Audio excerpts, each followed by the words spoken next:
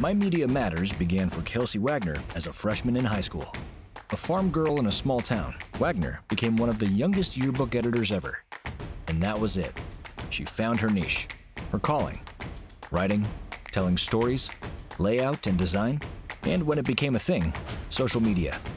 Kelsey got her first taste of building a business when she partnered with her father, Brad Frederick, to launch Gatehands in 2014.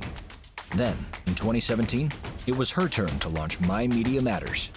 Kelsey has been helping grow and launch businesses with My Media Matters ever since. Businesses must have an internet presence. My Media Matters develops brand identities, tells stories, and creates engaging content for businesses to use online, in print, and on social media.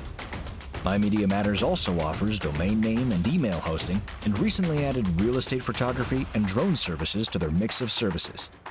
My Media Matters has launched over 80 websites, simple to use websites that are easily updated and mobile optimized.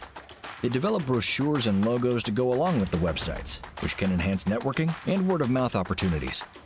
My Media Matters has benefited from close ties to the Ponca City Development Authority, and they opened their first official office in the City Central co working space, The Link. What started with two people in a small office has grown to five full time employees and a host of other writers, editors, and contributors for the latest venture, Ponca City Monthly, a full color, hyper local monthly magazine which goes out to Ponca City businesses. My Media Matters works closely with other media companies such as A Plus Printing, Make Kings, and Speak Now Films.